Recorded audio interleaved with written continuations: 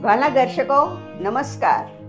ગુજરાત મિત્રની દાદીમાના નુસ્ખા શ્રેણીમાં આજે ડૉક્ટર પરબિયાએ ચામડીના સડા અંગે ઉપચાર દર્શાવ્યો છે તે અમે આજે આપને જણાવીએ છીએ. તેમણે જણાવ્યું છે કે, કોઈક કારણસર ચામડીને લાગેલા ચેપથી રૂજ આવતી નથી અને અંગ સડવા લાગે છે.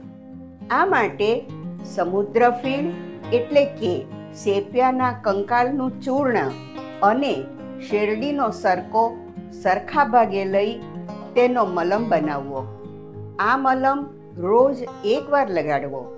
ઉપરાંત કાચકીના એકસો પચીસ ગ્રામ મૂળ છૂંદીને ત્રણસો મિલીલીટર પાણીમાં રાત્રે પલાળી રાખવા. સવારે ચોળીને કાઢી લઈ પાંચ દિવસ પીવા જણાવ્યું છે. આવા નુસ્ખા જાણવા માટે ગુજરાત મિત્રને ફોલો કરવાનું ભૂલશો નહીં. નમસ્કાર.